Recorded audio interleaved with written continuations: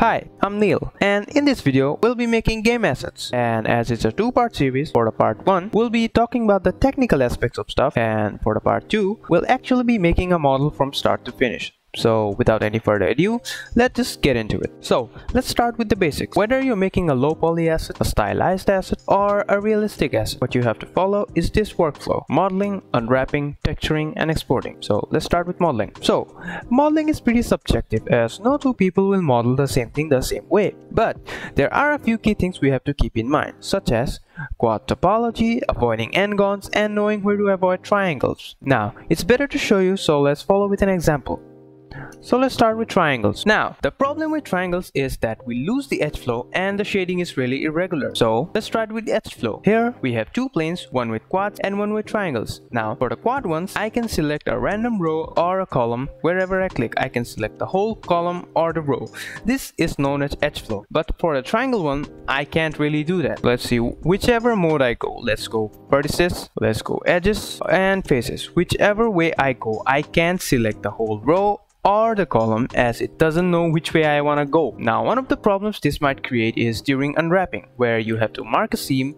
In the quad ones I can just select, go to UV, mark seam. But in this, uh, for the triangles, I'll have no way to select the whole row without individually selecting every edge, which is not feasible. And there goes your edge flow. Now, let's talk about the irregular smoothing part. Here, I have two cylinders, one with quads and one with triangles. Now, if I shade it smooth, there seems to be no difference. But if I add a subdivision, to both of them. The triangle one develops some kind of artifact. The shadows go wavy and if I increase them, the creases become more visible. Now, to actually show how the triangle affects the shading, let's deform the mesh a bit. Let's say I'll indent it. The triangle one seems to have some kind of straight lines going towards and that is not good. Moving on to n-gons which are just closed shapes with n number of edges. Now similar as triangles this also blocks the edge flow. Now if I wanted to select from here to here I cannot. I can only select this tree because this guy is blocking the path. Also with edges, it seems like I should be able to select the whole column here, but no. Same with vertices, I cannot seem to select the whole row or column. Now,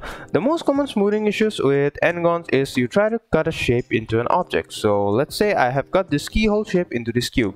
Now, I don't want these edges to be visible, so I shade it smooth. And now I have this shading issue. That's because when I added the boolean, I've created two n-gons here and here which mesh up the shading. Now, the only way to fix this is make the number of edges inside similar to the number of edges outside. So we'll have to add loop cuts here and make them individual faces. Also, you might think that why don't I just turn on auto smoothing? The thing is, auto smoothing doesn't solve the problem, it just hides it. Regardless, it'll throw an exception or it won't allow you to import the mesh. Now, moving on to subsurface and bad normal the problem with subsurface is with the most beginners model is they simply add a mesh, they add a subdivision to it, shade it smooth, and they cut loops into it. Now the problem with this kind of modeling in game assets is you have way too many polygons and the edges are way too close which give light leaks in game images. Also, the same results can be achieved using a bevel which has 165 faces or auto smoothing which only have 34 faces and compared to the subsurface one it has over 9000 polygons. Now moving on to normals, what I mean by bad normals is a plane has two sides, the front and the back, and they are marked with colors such as blue and red.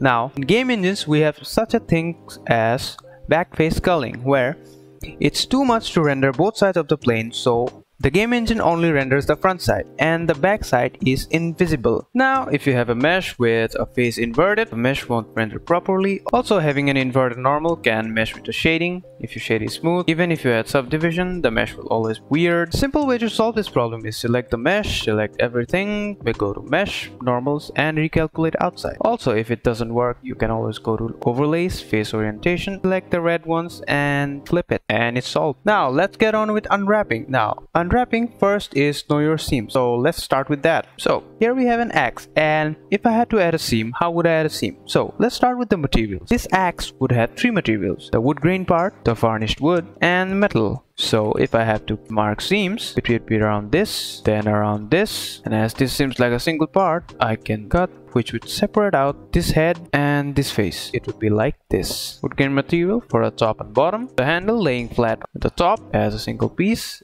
and which gives us the two faces which are separate and that's how we unwrap. Now, let's move on to texel density. Texel density is all about having consistency throughout the mesh so that all of the material have same amount of detail. So let's use the X we just unwrapped. So this, this and this, these three texel islands use the same mesh which is the head. But if I made this smaller than other two islands, so this face now has less detail compared to this face, which would be inconsistent and the model as a whole would look bad. Now, let's talk about UV overlaps. UV overlap simply state that no two islands should overlap each other. Let's use the X for an example. Here, this is part of the metal, this is part of the wood. So one of these islands would be spilling their material over another island. Also, let's use this example. This spider has six identical legs. So someone might think, hey, why don't I just save some UV space using overlapping UVs for all of these six legs as all of this would unwrap the same way and should have the same texture. The thing is, every time you import an object into game engine, the lighting has to be rebuilt. Now this is because the game engine doesn't recalculate the lighting every time a level is loaded. It saves the lighting data in the form of light map using the object UVs. Now as no two objects can have the exact same lighting, so the, all of these six legs would have different kind of light map data. But as the UVs overlap, they would be just overlapping over each other. This confuses the game engine and we are thrown an error. Light maps UVs are overlapping by 12.8% please adjust content. Now, let's talk about UDIMs. So, let's say to achieve the perfect texel density, I had to increase the size of this island so much so that now it overlaps with other islands. And since I don't have any space left in this UV, the only possible way it seems is to reduce the size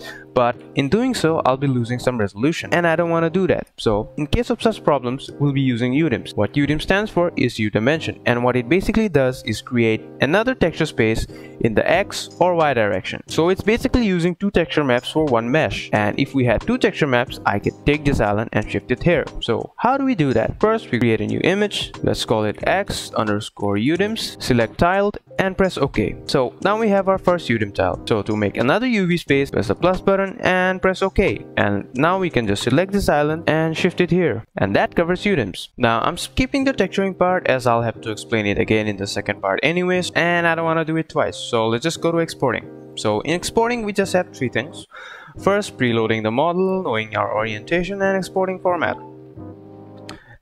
The, so in exporting, we just have three things, preloading the model, model orientation, and just export format. So let's finish this quick. Now, what do I mean by preloading is after we're done with the textures and we have exported all our textures, we can simply just shift D, make a duplicate of our object, then select the original object, remove every texture we have, and add a new material. And in that material, we're gonna import back all the textures that we actually rendered. Now, what this does is you can visualize the errors such as this and this. Also, when you export this model, the textures will already be exported with it. So when you import it back into a game engine, you don't have to make another material and reroute everything into this mesh. And finally, let's talk about export formats and orientation. Let's start with export formats. So the most common export formats in game assets are FBX and OBJ. And how you export them is simply going to File, Export, FBX.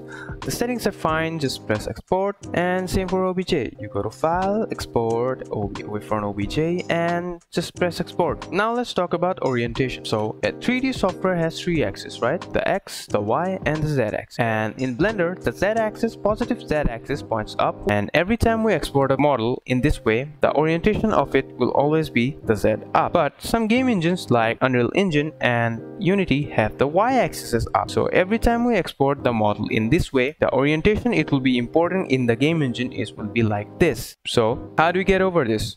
One of the ways to get over this is simply rotate your mesh. But let's say you have a house asset and you made it in Blender, so Z is up.